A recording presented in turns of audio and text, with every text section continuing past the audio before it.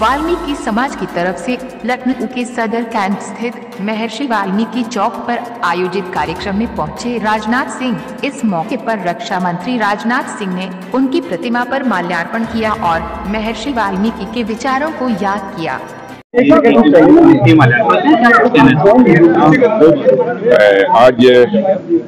महर्षि वाल्मीकि का की जयंती है, इस अवसर पर मैं तीन दरवाजे इसलिए मैंने फैसला किया कि कहीं न कहीं जाकर मैं महर्षि वाल्मीकि जी की प्रतिमा को माल्यार्पण करूँगा और अपनी श्रद्धा की अभिव्यक्ति मैं करूँगा।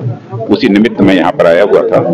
महर्षि वाल्मीकि का जहाँ तक प्रश्न है सारा विश्व जानता है कि वाल्मीकि रामायण के रचयिता वो थे। और जिस राम का, के चरित्र का जो उन्होंने चित्रण किया है, उसी आधार पर आज भारत में ही नहीं, बल्कि दुनिया के कई देशों में जहाँ भारतीय रहते हैं, आज रामलीला का मंचन होता है। महर्षि वाल्मीकि के राम, मैं ऐसा मानता हूँ कि वह केवल राजा ही नहीं थे, बल्कि वह लोकनायक थे, वह संस्कार पुरुष थे, वह युग पुरुष थे वह अवतार पुरुष थे। और धर्म की प्रतिमूर्ति थे और मर्यादा पुरुषोत्तम थे।